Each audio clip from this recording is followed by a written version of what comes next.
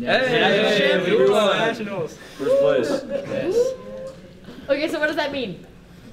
Uh, Eternal glory. Started with research, went to coming up with design process, then we went to actual hardcore designing, uh, and that took up most of our time. Made the presentation, wrote the report, got this result. We did make an agreement that if we won nationals, we would get a pool party.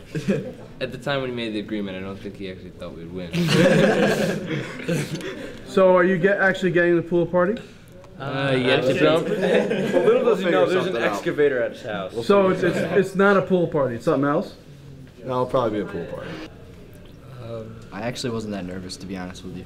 Yeah, I guess adrenaline kind of took over, and Yeah, you're in that yeah. spot. And you just want to do well. Did you guys get nervous when you were hearing the other presentations? Yes.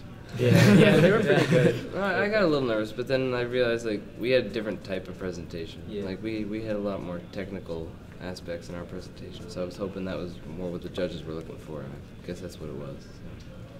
Have any of you thought about a career in aviation or anything in this realm? Yeah. Uh, I think- I think we're all pretty much going into engineering or some field in engineering. Um, Yeah. So are you guys excited to go back to Connecticut and tell everyone that you won? Uh, we've already told pretty much everything. Our school's gonna go crazy. We'd just like to thank everyone involved with the challenge. Just like to thank everyone involved with the challenge. All our mentors, our coach, everyone, all the judges.